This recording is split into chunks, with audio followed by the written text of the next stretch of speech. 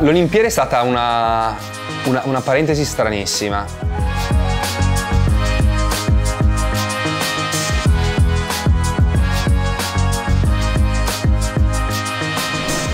perché già il fatto che a causa Covid è stata rinviata di un anno, che per me è stata una cosa fondamentale perché mi ha permesso di allenarmi un anno in più, essendo ancora giovane. Diciamo che di per sé sono arrivato all'Olimpiade con molta consapevolezza, prima di tutto. Ho fatto un lavoro grosso anche a livello mentale prima di arrivare all'Olimpiade e all'Olimpiade stessa Tornassi indietro di quell'Olimpiade non cambierei niente se non forse l'approccio mio alla gara. Ero, ero, molto teso, ad essere sincero, perché comunque si lavori per anni per una gara sola e ci sta la tensione. Mi sono goduto la magia olimpica, perché la magia olimpica intendo un villaggio olimpico che tiene 20.000 persone, tutti sportivi. Il primo giorno mi ricordo entro al villaggio olimpico, mangio e a pranzo avevo Djokovic di fianco a me e dicevo, lo vedevo, vedevo come un mito, cioè di fianco a mangiare, quindi lì capisci che la testa fa tutto. Non puoi pensare di buttare via un allenamento di tanti anni solo perché vuoi goderti il villaggio, vuoi goderti l'Olimpiade. C'è tempo per il, eh, per il dovere prima, no? E poi il volere. Perciò io ho avuto la fortuna di saper incanalare le mie emozioni solamente per la mia gara. E così è stato. Ho finito le Olimpiadi con due medaglie eh, di bronzo che mi hanno dato una, una, gioia infinita. Sognavo da quando ero bambino. Classico, la classica frase, domanda che ti faceva a scuola, come ti vedi da grande, cosa vorresti fare? Io più che quello che scrivevo era quello che copiava il ragazzo di fianco a me, no? Perché non lo sapevo. Però una cosa certa era che volevo, volevo raggiungere le Olimpiadi, volevo raggiungere il top di quello che stavo facendo in quel momento lì. E così è stato, no? Mi ricordo che il momento momento più bello perché hai poco tempo per rendertene conto. Io il podio Olimpiadi l'ho fatto a occhi chiusi, cioè non mi ricordo niente. L'unica cosa che mi ricordo di bello delle Olimpiadi è stata il viaggio tra la piscina e il villaggio olimpico. Ero da solo perché ho dovuto fare eh, un po' di cose dopo la premiazione, quindi ero da solo con altri tre ragazzi in tutto il pullman e ho aperto lo zaino un po' di nascosto, senza vedere a nessuno e guardavo la medaglia e lì realizzi, solo in quel momento sei tu e te stesso, no? E lì puoi realizzarlo. Poi quando inizi a vedere gli altri amici sono contenti, lì già è una gioia condivisa.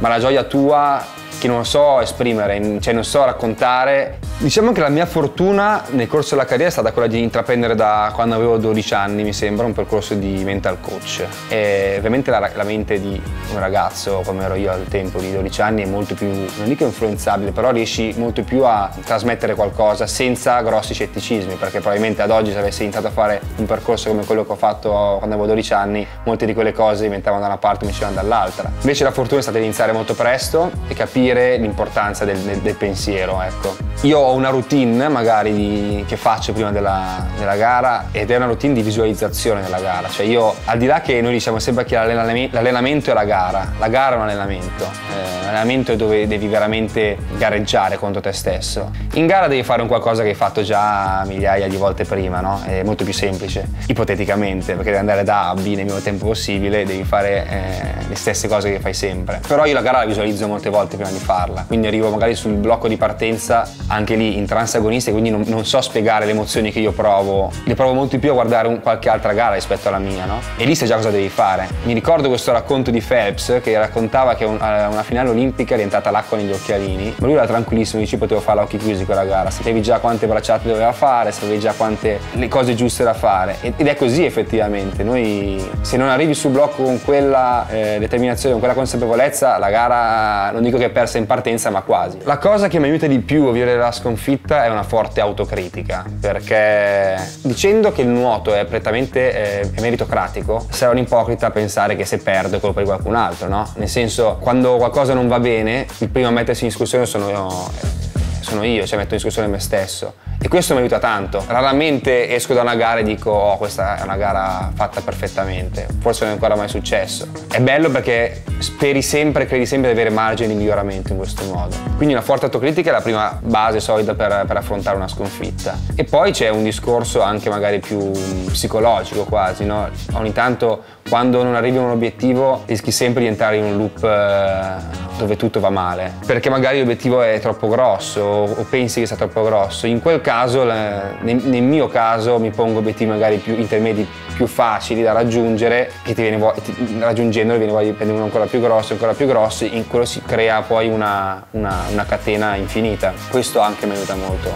crearsi degli obiettivi molto intermedi. Io ho avuto un infortunio grosso nel 2010 2017-2018, a 18 anni. Stato, sono stati 8 mesi fuori da, dall'acqua. È stato il periodo più bello e più brutto della mia carriera, o meglio, più bello della mia vita, forse più brutto della mia carriera. Bello perché era l'anno in cui finivo la scuola e potevo vivere finalmente la vita da uno studente, un ragazzo come, come tutti gli altri in realtà. E quindi mi sono goduto appieno quell'anno con i miei compagni di scuola, l'anno che finivi, le, la, facevi la maturità, la maturità l'ho vissuto veramente bene, è stato qualcosa di, di bello per me, di nuovo quasi. E dal punto di vista sportivo invece è stato un po' più difficile, molto più difficile difficile. Dal punto di vista mentale è stato difficile non tanto approcciarsi a quel periodo, a quegli otto mesi, ma una volta tornato a me sembrava di allenarmi da 10 ma poi performare da 7 e io non capivo, dicevo io non, non, non valgo questo per me, valgo di più. E lì rischi di arrivare a pensare probabilmente non valgo di più, valgo così. E invece poi pian piano tramite anche l'aiuto di appunto un altro mental coach ho fatto uno switch immediato e sono riuscito poi a togliermi questo zaino pesantissimo dalle spalle.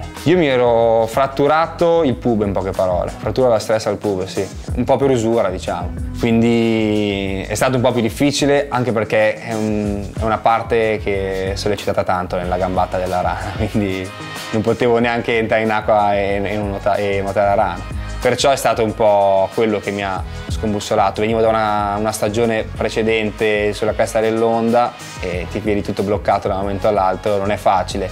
Poi sei le prime armi magari con, eh, con, i, con i, giornali, tutte queste cose, no? che prima magari ti pompavano e poi da un momento all'altro non ti cercava più nessuno inizi, pensi ad andare nel pallone, ti senti quasi abbandonato. Poi la fortuna di quelle situazioni che guardi il bicchiere mezzo pieno, cresci capisci le persone con cui ti puoi fidare, che vuoi tenerti vicino e quelle sono le persone che poi ti danno forza anche in altri momenti. Sì, allora sinceramente sì, ho avuto la paura di non, di non riuscire più a tornare e a quel punto avrei mollato tutto, sicuramente. E mi, faceva, mi terrorizzava il fatto di dire smetterò di nuotare, no? E anche perché mi identificavo in quel momento come il nuotatore, non come la persona. E lì sono cresciuto tanto personalmente. Lì ho detto, probabilmente la persona non dipende da quello che io faccio in acqua. Eh, mi sono creato un'identità mia, eh, l'ho, accettata e ad oggi questa cosa mi aiuta tanto perché se io penso al mio futuro non sono terrorizzato al momento in cui io smetterò di nuotare. Può essere domani, tra un anno, tra due anni, dieci anni. Non, non mi preme, so, sono sicuro però che, il momento che quando arriverà il momento di smettere di nuotare io sarò da tranquillo, sereno. Perché sarò io aver detto basta basta al nuoto e non in nuoto aver detto basta a me.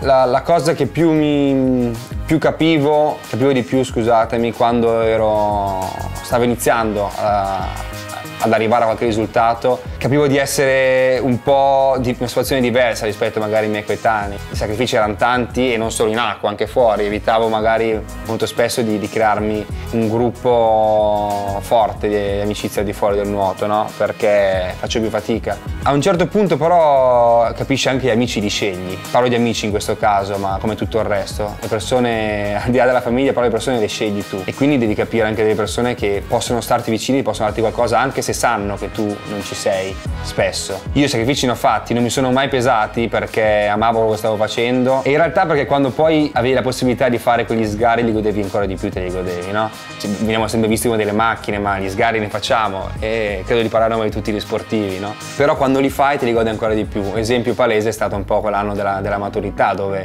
ho vissuto quell'anno come una cosa normalissima per qualsiasi altra persona e per me invece è stato qualcosa di indimenticabile. E quello ti fa capire davvero che è ancora più bello quello che stai facendo perché ti regala delle emozioni più forti in un qualcosa di in realtà normalissimo.